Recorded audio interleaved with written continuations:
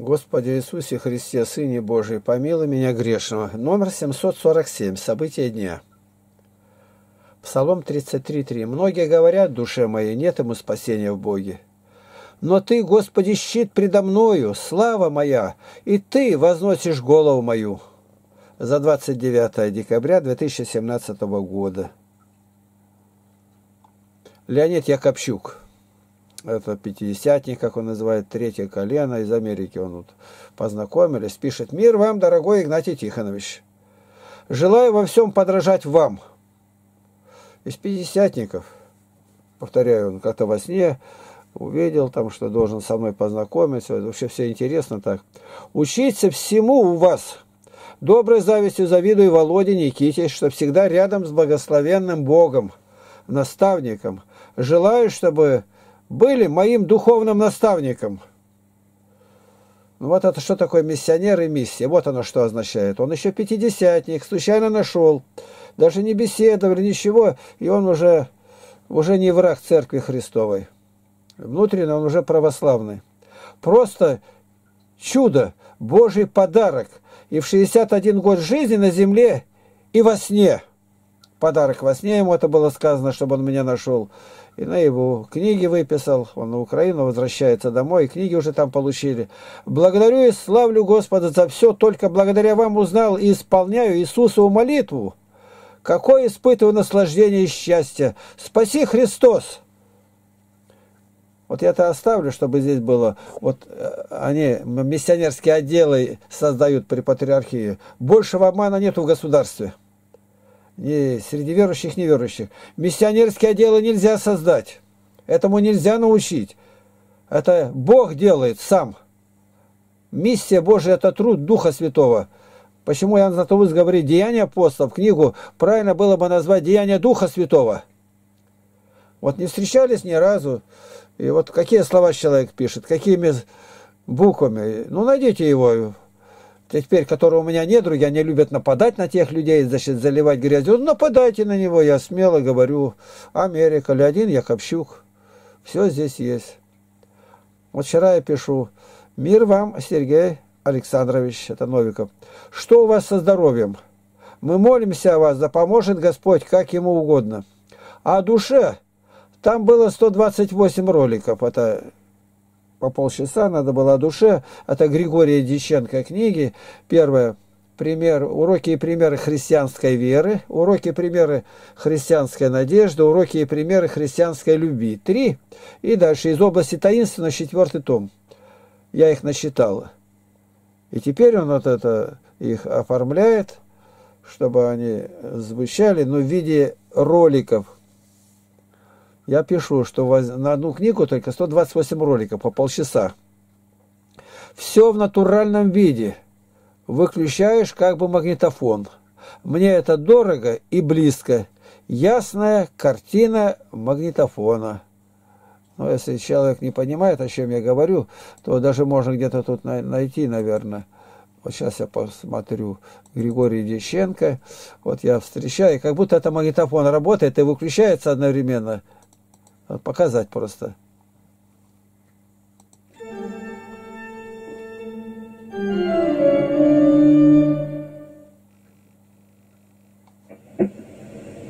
Что часто видели, как мертвые входили в дома, в которых они жили на земле. Святые отцы и учители церкви не сомневались в явлении умерших. Вот я и сам... не только утверждали эту истину, но ведь я останавливаю, и там магнитофон остановился. Вообще, да, никогда не думал, что так можно. А магнитофон тот, на которых я записывал, это маяк 205.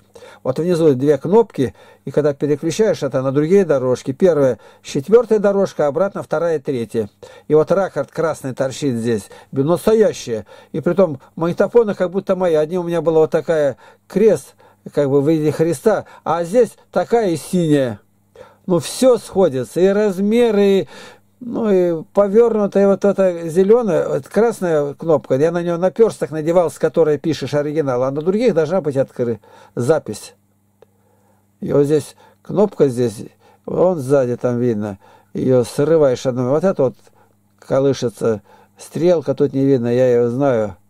Тут, наверное, тысячи пленок записал. Это голос. И вот одновременно, когда пишешь, вот эти нажимаешь обе, и она сразу записывает туда дорожки. Две туда и две обратно. Четыре. На скорости 19, кажется, 7 десятых сантиметра. А слушаешь на 4,7 сантиметра в секунду. Вот как. На той скорости пишешь две дорожки, а потом по одной, ну, маленько одна другую, это там прослушивается. Но это не важно. Я никак не мог дальше. Это на скорости, представь, две дорожки туда, это уже в два раза быстрее. Да умножить еще на 4 скорость 3,7. 4 же. Ну да, 4, может быть, в 5 раз. Ну, короче, так, в 10 раз. Но учитывая, что еще 10 магнитофонов, 10 умножить еще на 10, и 100. То есть, как слушать, у меня получалось в 100 раз быстрее. Одновременно это все сделал так. Мы звали его Алеша, а на самом деле Речкунов, но он Леонид Ильич по паспорту был. Мастер высочайшего класса. Ну вот он не дожил до этого времени, тут бы он сейчас с интернетом как все это разбирался. Совершенно неграмотный, как будто бы там, ну школа одна. Но все это божий талант. Любой холодильник со свалки притащит, отремонтирует, даст. Любую машину ремонтирует. Магнитофоны японские, они вообще не раскрываются. Все ремонтировал. То есть не подвластно ему ничего не было. Нас научил всех, сами могли ремонтировать любые магнитофоны уже. Преподавать мог. Его поэтому сценили его э, там на работе и везде. Вот сейчас я внизу перевожу вот видите, вот где тут краткая остановка. Я его нажимаю, но магнитофон движется. Сами, так сказать, подчинялись видениям, исполняя то, что требовали от них являвшиеся умершие. Так, когда святому Иоанну Златоусту явился в городе Каманах епископ Василиск, за сто лет до того умерший, сказал, мужайся, брат Иоанн, завтра мы будем вместе. Видите как? Ну вот проверили проверили. Я хотел показать, как это есть. Это все он делает, возвращаясь сюда. 128 роликов. Ясная картина магнитофона. А вот теперь прислали о вере. Тут все иначе. Мельтешится как бы мозаика в цвете. Лента магнитофона не движется во время прослушивания. Нет абсолютно никакой ясности. Почему бы так? Поэтому вторую папку о душе я не стал скачивать. Такие ролики ставить нельзя. Проверьте, пожалуйста, может быть, это только у меня так. Вам передал я, то есть он говорил, чтобы фотографии были не ужатые, а ужимала она в 20 раз. Знаете, каких пикселей-то меньше.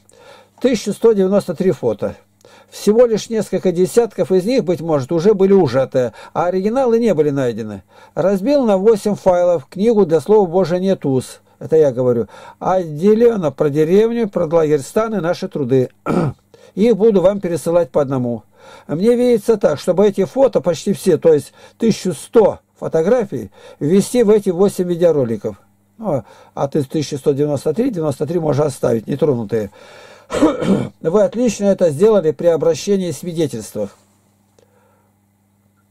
Там идет как книга и фотографии. Получается, что в каждый ролик можно смело ввести по 137 фотографий.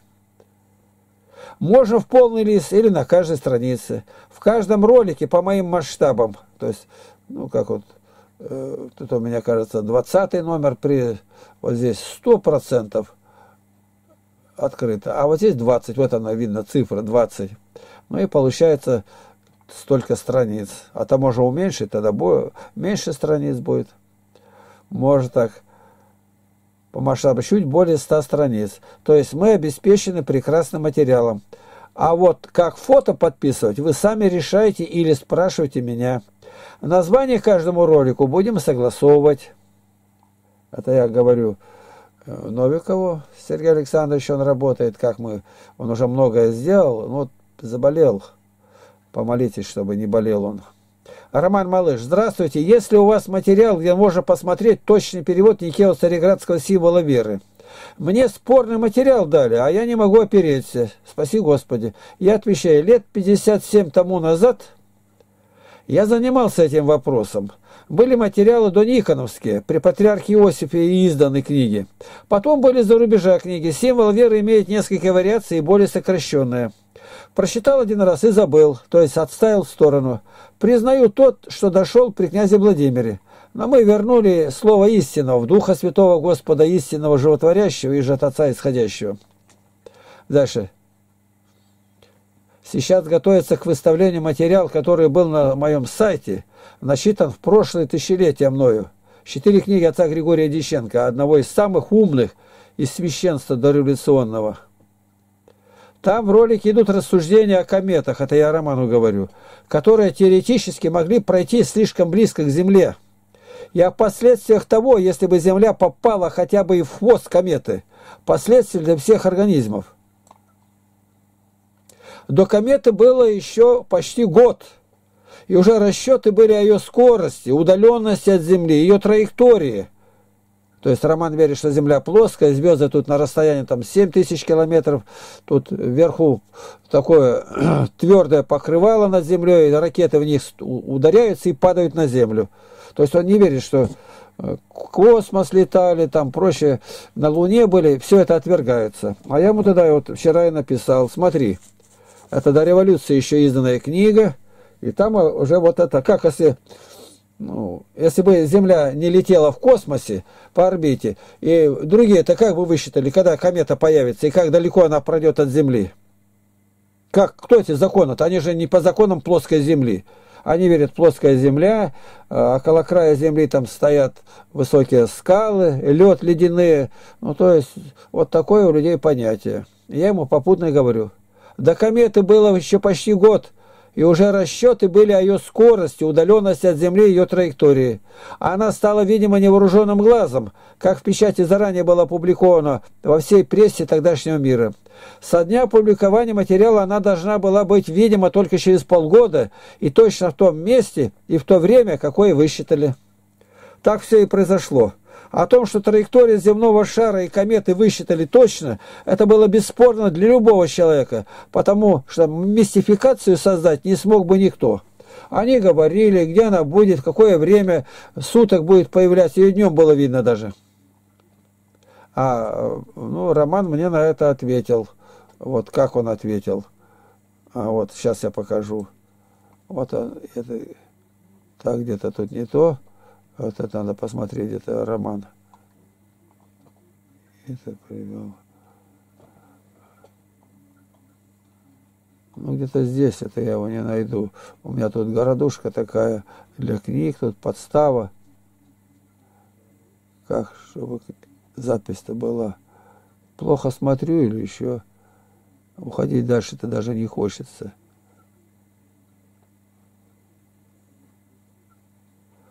Иван.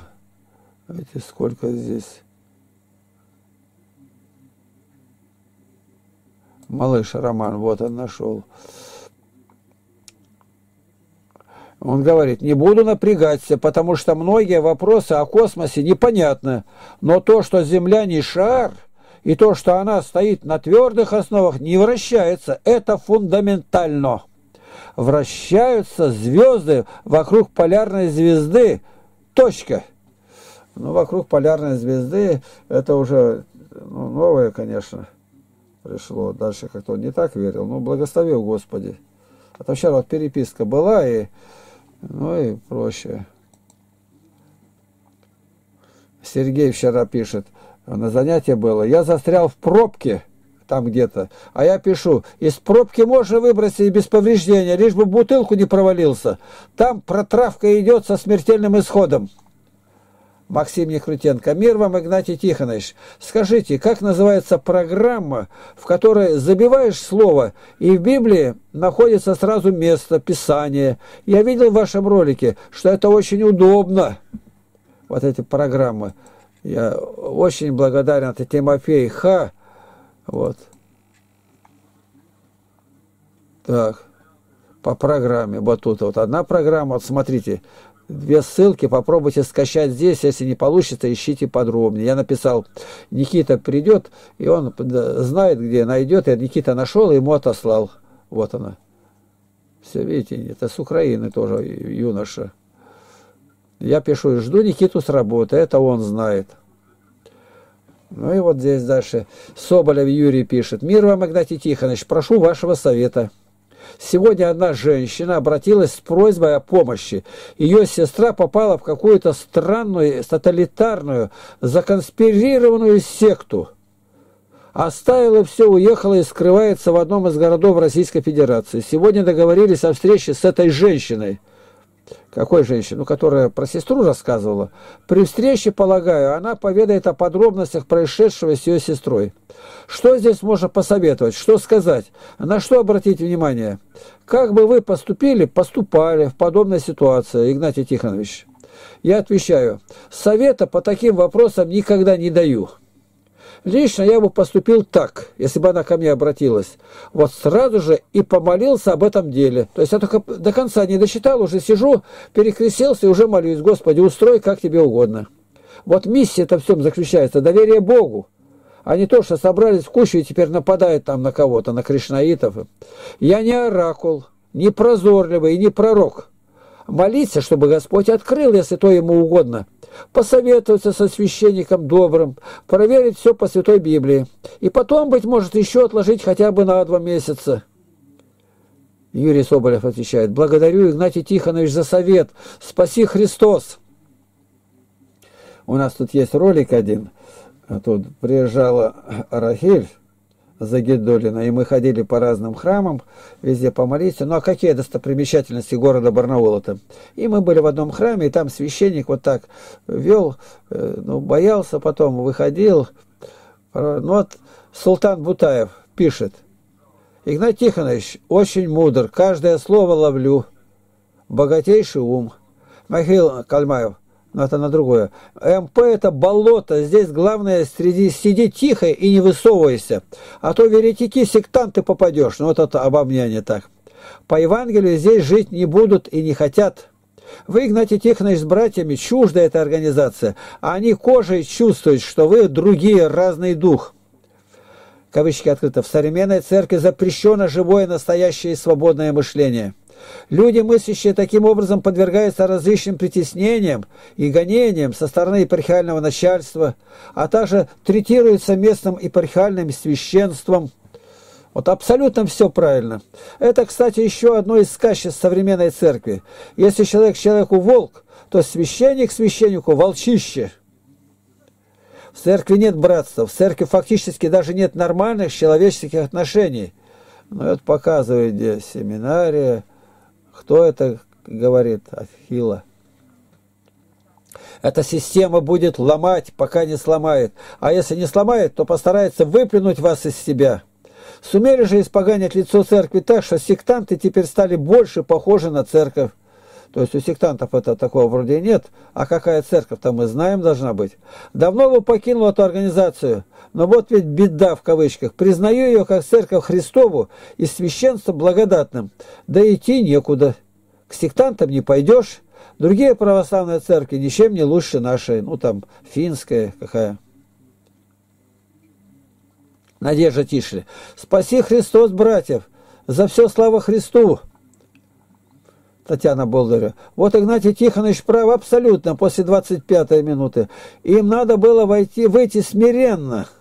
Это где у Сергея Пупкова на этой выставке православной вырывали и сломали магнитофонный аппарат.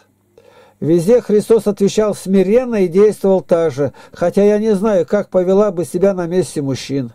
Артемий, покупать через знакомых напрямую – то получается 136 рублей за 150 чисто восковых свечек. Получается меньше рубля за свечку. Ну, тут я не очень-то верю в это. Где это такое? Это один воск стоит дороже-то. Она нитка стоит. Да сегодня рубль-то какая-то цена. Это что-то не то.